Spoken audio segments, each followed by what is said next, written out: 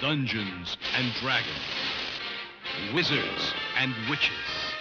Magic and revenge. And a warrior caught between.